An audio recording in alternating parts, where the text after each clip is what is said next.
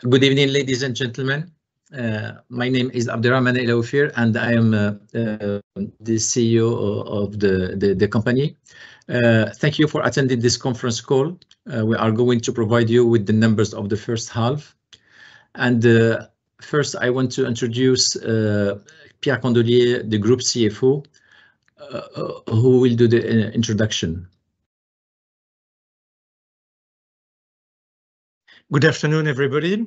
Uh, so the Derichebourg Group has just released its half-year results. Um, the press release is available on our website. Our half-year report uh, with the auditor uh, report is also available on our website, and uh, the slides that we will go through are also available on our website. I will hand over to Abderrahmane El Aoufir for the first part of the presentation. Thank you, Pierre. Can we go to the following slide? Okay. Okay. So I mean, the majority of you know already our group, but uh, just we give you some figures, you know, at a glance, you know, to be very familiar with what we have achieved last year. So the group has handled, you know, 4.6 million of uh, uh, ferrous scrap, 770,000 tons of non-ferrous scrap. Maybe we are the top handler of non-ferrous in, I mean, in the recycling industry. We have handled also 560,000 tons of end-of-life uh, vehicles, 330,000 of uh, equipment that come from waste of uh, electric and electronic equipment. And we have produced 80,000 tons of aluminum ingots and 35,000 of lead ingots. Our business model, our strengths are based in, uh, you know, our sector. Uh, our sector, it's a growing sector due to the green economy and circular economy. A lot of blast furnaces will switch to electric arc furnaces in the upcoming years, and we will uh, see a huge demand of recycled Uh, scrap metal. This is valid for, you know, the steel industry, and also it's valid for the metal industry. We are seeing now that a lot of uh, producers of aluminum and copper try to have in their mixed products recycled metals to, you know, to show that they are green. Okay. Our group has always benefited from a skilled Uh, senior management team, and in the key position, we have always people with years of experience, and they know the business uh, inside out. Uh, we have always invested, you know, in the state-of-the-art technology. The group owns the majority of its assets. He is the landlord of the the majority of the properties. We have a very strong balance uh, sheet where our equity is higher than our significantly higher than our debts, and we have no short significant repayments. We also have a family, you know, shareholder that has a long-term strategic industrial uh, vision, which allow us, you know, to have always an analysis for the long term. Okay. Can switch maybe to the. Okay. For the first half, you know, the numbers have been as the following. We have achieved a revenue of 1.7 billion euro, an EBITDA of 142 million euro. We are present in 13 countries, and our headcount is 5,920 employees.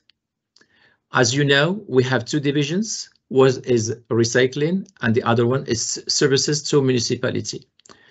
So the recycling obviously is the major part uh, of the the business with 1.6 billion revenue.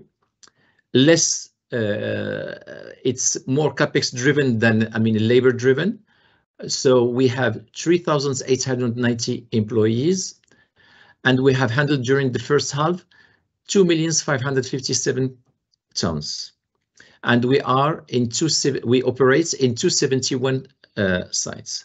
For the services to municipalities, the revenue for the first half has been at 97 million euro, 1,851 employees, and 1.6 million tons collected, and we are present in two countries, France and Canada. As you probably know, we have uh, uh, 48%, 30% of uh, Elior that we have acquired last year, and we are happy to announce that, I mean, uh, after one year, we have achieved not only a positive uh, numbers, but also a significant organic growth. The group has operated in an adverse uh, environment.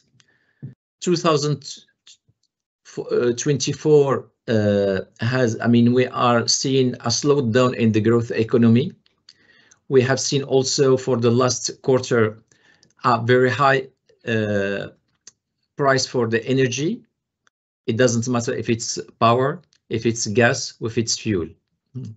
High interest rates, and we have been victim in the month of November of a cyber attack uh, that has impacted significantly our numbers in the first quarter. But now everything is over, and we are back to normal.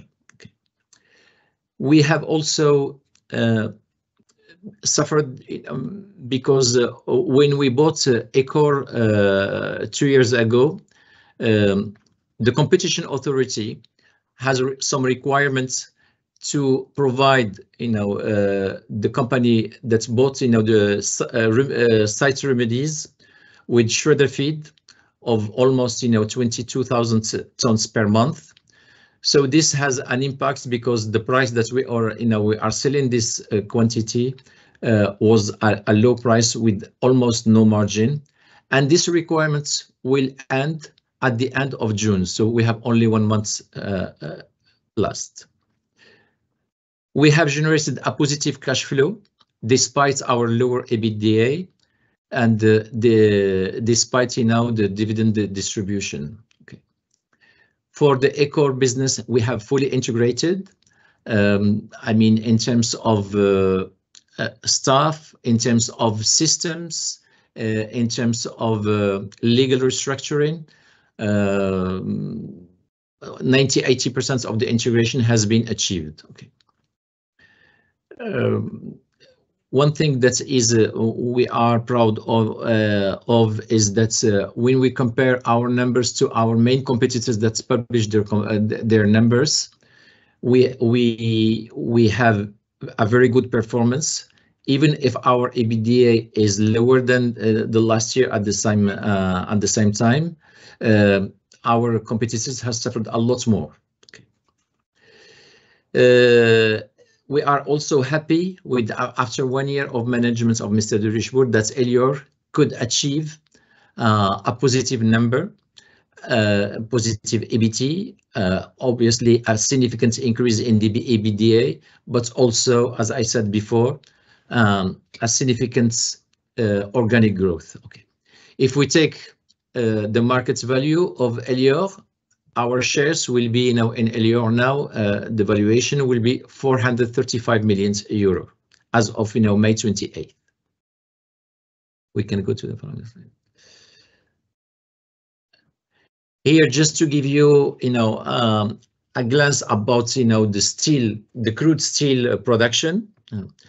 As you can see, you know, even if there is an increase, all the areas, I mean, where we operate, there is a decrease, you know, Turkey, Europe. Um, uh, and we have to be very careful because, you know, all the steel that comes from the blast furnaces, you can't reduce the production unless you shut down, you know, the the furnace. But the electric arc furnace, uh, you know, you can reduce the production.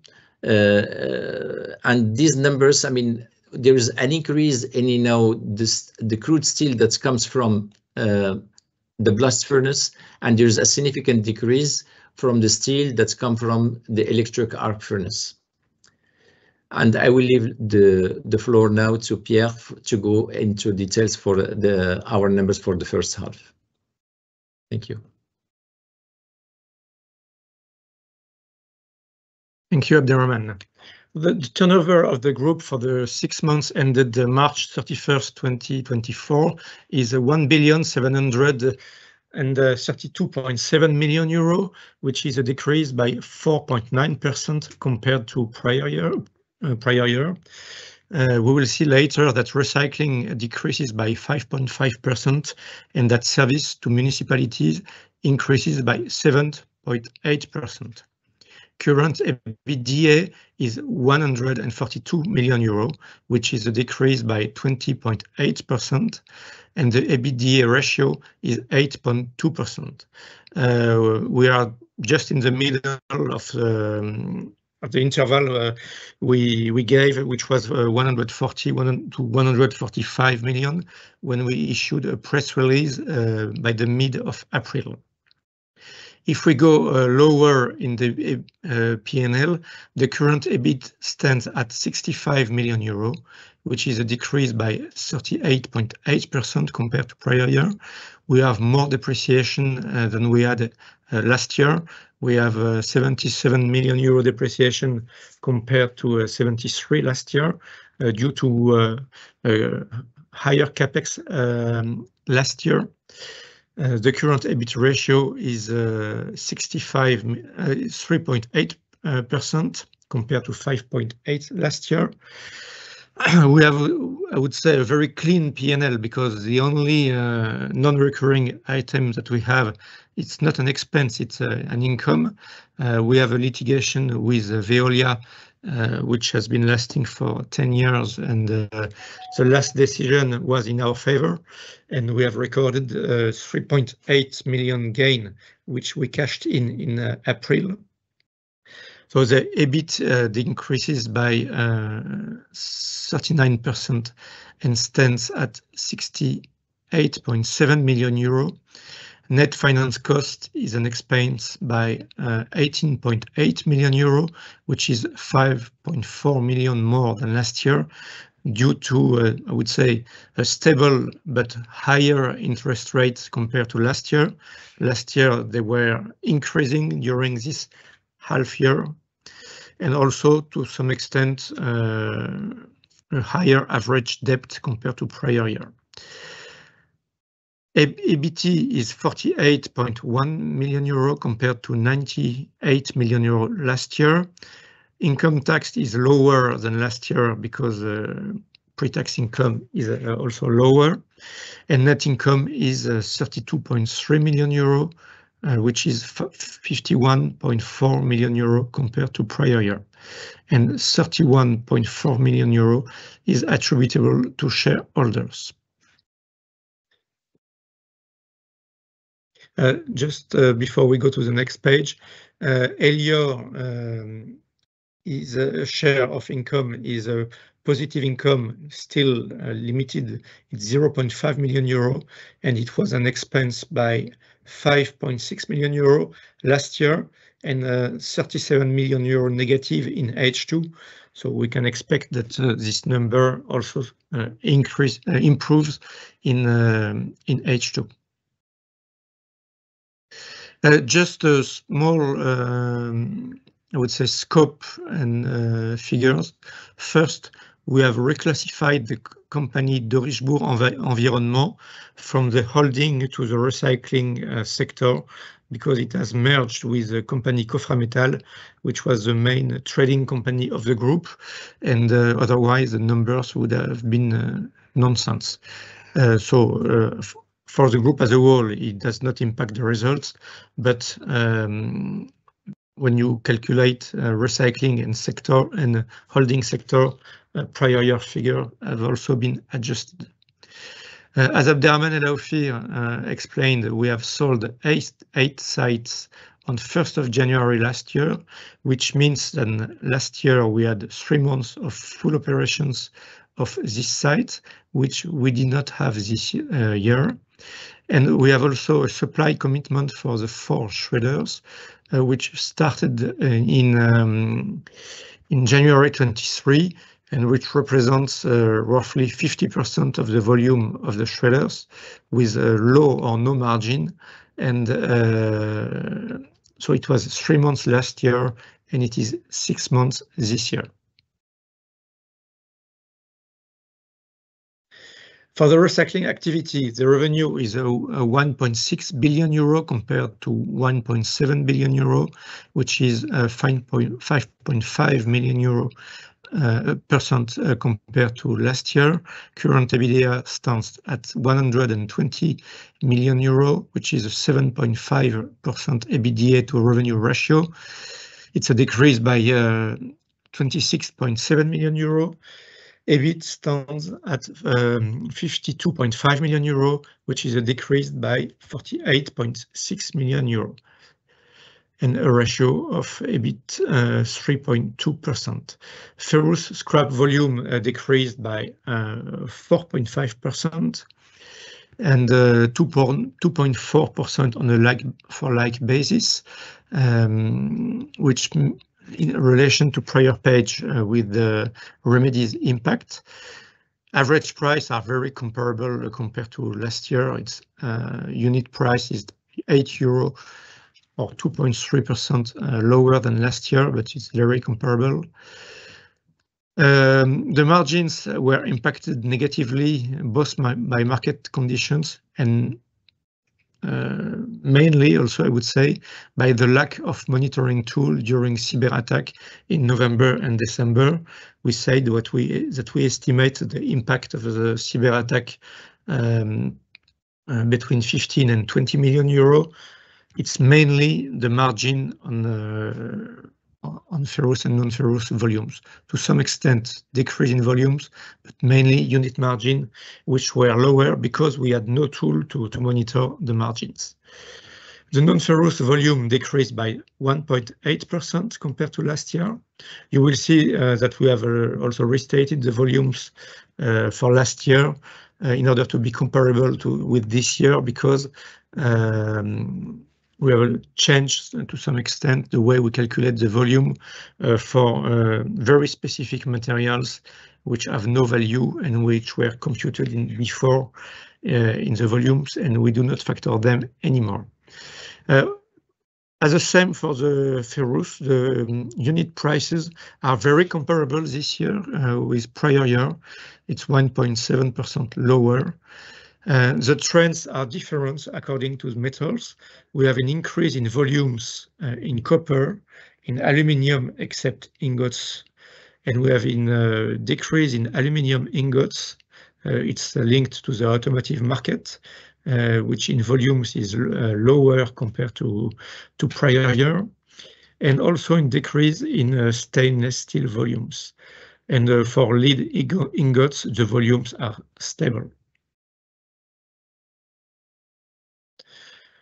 I uh, will be very short uh, with uh, on this page. You can see the price, which we have already said for the ferrous, which is very close, and otherwise nothing specific to to report. So if we go to the volume side, um, -5.5% Uh, for the ferrous scrap, uh, which uh, results in a 6.7 decrease in revenue for ferrous scrap. You will see, and it's not often the case, that non-ferrous revenue is higher than ferrous scrap revenue and stands at 766 million euro. It's also the results of all the CapEx which have been done in prior years in non-ferrous. Service revenue Uh, decreases by 2.6% or 2.3 million euro.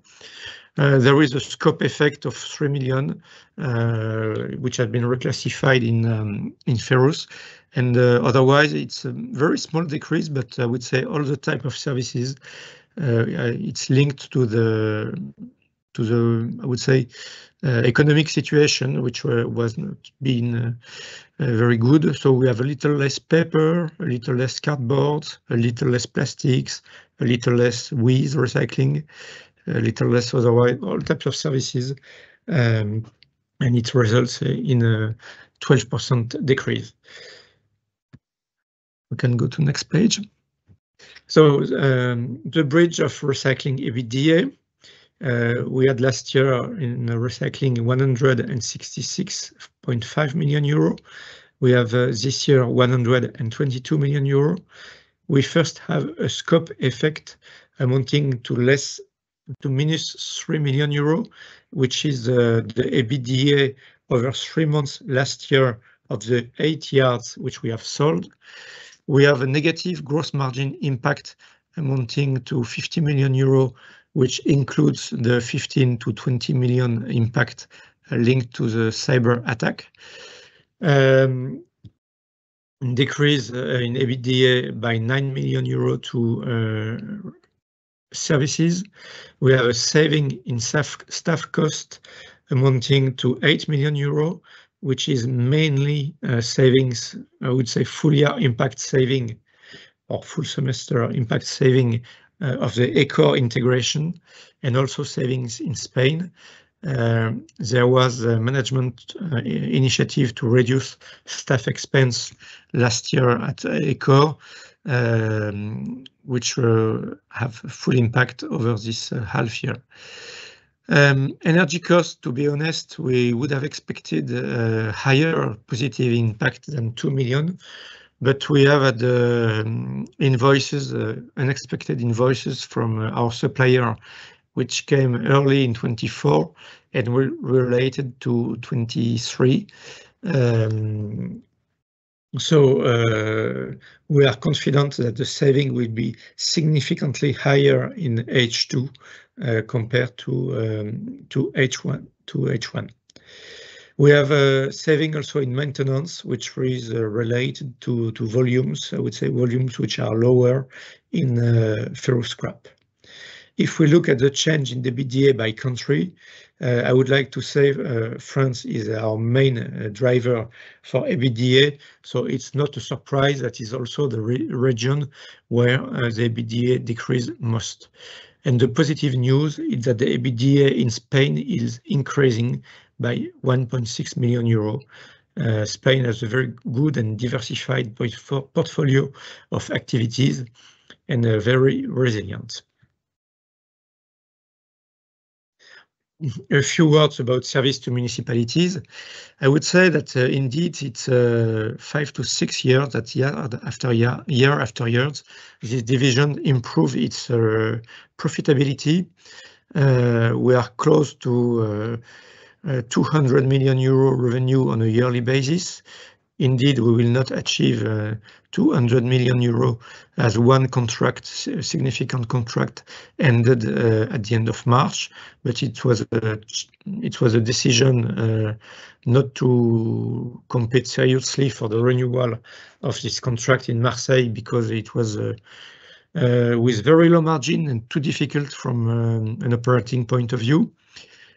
Um, the performance uh, will not impacted will not be impacted negatively of the end of this contract in H2.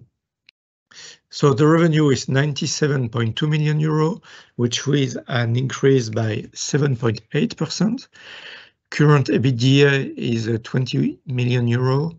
Current EBIT, I would say, which is more realistic for this uh, business because depreciation is also included in revenue. Current EBIT is uh, 13.1 million euro, which is an increase by 100% compared to last year, and it's a 13.4% EBITDA to uh, EBIT to sales ratio, which is outstanding. You see that the company is uh, performing well in several area, and we have also one non-recurring item which I already Uh, spoke about. And so EBIT stands at 16.8 million euro compared to 2.7 million euro last year, because last year we had the negative 3.8 million impact.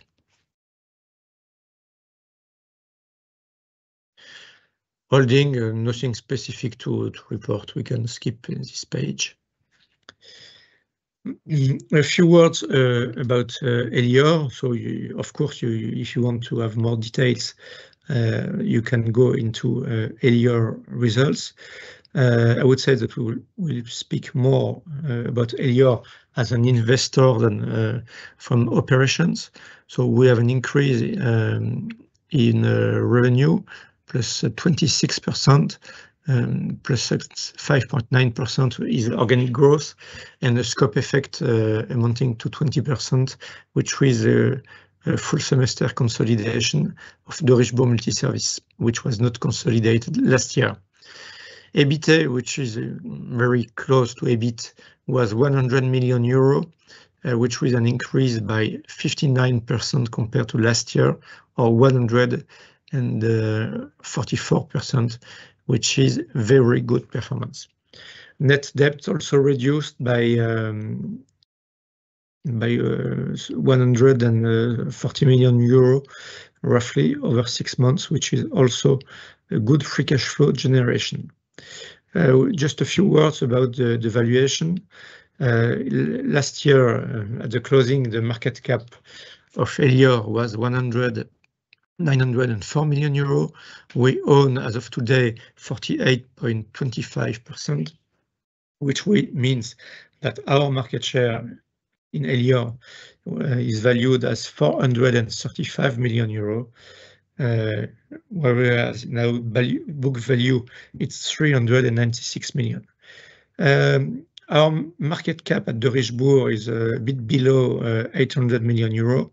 If you deduct um, the uh, our value in Elior, I would say that uh, there is not a lot which remains for our recycling uh, division. We let you do your own calculation. We have managed to reduce our debt by 4 million euros over the half year. Uh, we have already spoke about uh, EBITDA, which stood at uh, 142 million euro. We still have a significant CapEx, 116.9 million euro over the half year, which is 82.3% of EBITDA. Indeed, we decided to reduce CapEx by end of prior year, and um, you have already backlog of CapEx, uh, which is still running uh, when you decided to reduce. So we have uh we were already happy to see that in February and March, it was lower, and uh, it will be lower in H2. And we will certainly still be above 50% at or close to 50%-55% at Uh, end of September, but that will be in H2. A good generation of EBITDA, lower CapEx, uh, working capital requirements should stay close to what it is uh, at the end of March. So we will have a significant deleveraging over H2. In addition to that, we will not have a dividend in um, the second half year. Otherwise, uh, finance cost uh, uh, likely to double, income tax more than double, and the rest should be very stable. We comply with our financial ratio. We have a leverage ratio at which stands at 2.59, and coverage ratio which stands at 8.52% times. On our balance sheet, uh, uh, equity is very close to 1 billion euro. Um, otherwise, uh, we have already spoken about the main um, drivers when we spoke about net debt. Um, I will not go into details in this page, just say that we have a very good liquidity Uh, headroom, uh, 358 million euro net debt, uh, with no short-term maturing line that you will see on the next page. Um, before 2027, we have no significant line which matures. We have the factoring, which we renew each year, but I would say it's the same every year. I will uh, give the speech and hand over to Abderrahmane El Aoufir for the outlook part, and then afterwards, we will answer your questions. Thank you, Pierre. So our outlook for the the short term, I mean, given the market condition, it is unlikely that we're going to offset, in know, the variance uh, uh, versus 2023 in H2 to 2024. Uh, however, we are expecting, you know, to be between 300 million and 310 million. Okay. We, as I said before, we are in a positive dynamic, where the first quarter has been bad, but I mean, the second one has been a lot better, and the third one, even if it's not over, we are achieving uh, good numbers, and uh, the positive dynamic is continuing. We, in the in half two, we will have a lower CapEx than in uh, half one. So, and there will be no dividend payments, so we are expecting a generation, a better generation of cash flow. Um, as I said before, even if the results are lower than the last year, they are a lot better than our competitor that's published their numbers, the one that uh, are listed in in the stock markets. Uh, the group expect, you know, to benefit from the CapEx that has already engaged in a previous year with the improvements of the economic situation in the upcoming years. Okay. For the long term, we are pretty confident because, as I said, we are operating in a growing sector, and the demand of uh, scrap uh, uh, ferrous metal and scrap non-ferrous metal will be high, and we are very confident that, I mean, given our business model, that we are going to achieve, you know, very good numbers and very good growth. And uh, thank you, and we are willing now to listen to your questions. And maybe now to give the calendar. Okay, So just uh, give you the calendar of next year.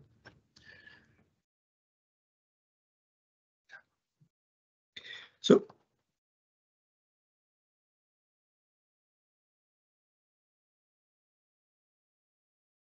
Thank you, Abderrahmane. We have a few questions. Um, We we will answer to to, to some of them. For confidentiality reasons, we may not be able to answer questions we relate to uh, unit margins. Uh, I know that we used to do that a few years ago, but uh, some competitors were using this information, so now we disclose a little less about unit margin. So, uh, questions about decrease in unit margins for or uh, absolute um, unit margins for ferrous, um, we will not uh, answer precisely. Nevertheless, if you like mathematics, as we have spoken about our decrease in volumes for ferrous and non-ferrous, and as we have given the absolute value of decrease in gross margin, you can deduct uh, or estimate the uh, decrease in uh, unit margin in in ferrous and non-ferrous in particular. I would say it's mainly ferrous when we had a lower unit margin for two reasons, three reasons: market conditions, cyberattack, and also uh, the commitments to to deliver volumes with uh, low or no margins to uh, to the remedies site. There is a question about the sustainability, if you can sustain 3% EBIT margin in service to municipalities. I would say yes. Abderrahmane, uh, there is a question for you about the level of CapEx during H2. Will it be 100 million euro? Will it be lower? Well, no, no, we will be lower. We are expecting uh, a total CapEx for the uh, total fiscal year between 160 million and 165 million euro for the whole year.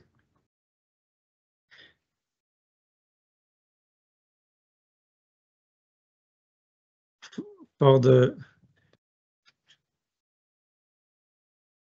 for just for uh, uh, this uh, figure given by Abderrahmane El Aoufir does not include a new leases, which could be if some are implemented during the year. It's, I would say, tangible CapEx. Hmm.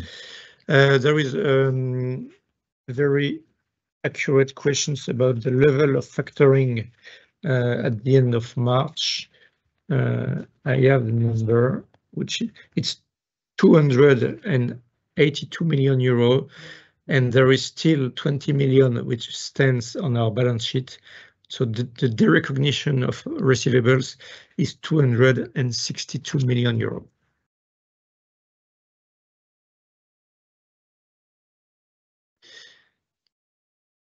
Uh, can you give us free cash flow during um, this year compared to prior year? So uh, I would say that free cash flow, um, we have a deleveraging this year by uh, 4 million euro. If you um, add the 25.9 million euro dividends, uh, so you are at 29.5 million. I would say that at least the numbers, um, I don't have the... I will give you the number for last year.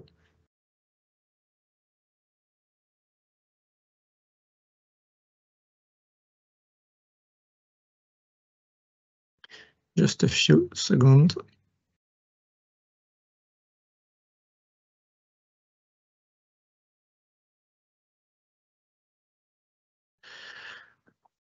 So last year, uh, we had an increase by um, nearly uh, 80 million uh, in H1 in debt. Out of that, there were in, included in that, there was 51 million euro dividend included. So it means it was negative cash flow by around 30 million euro.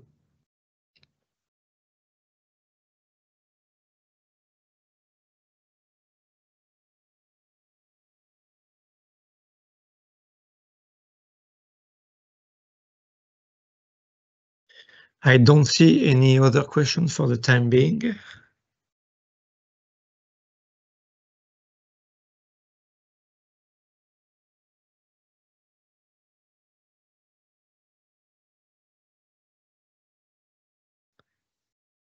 So if there is no additional question, uh, we will uh, thank you for your attention.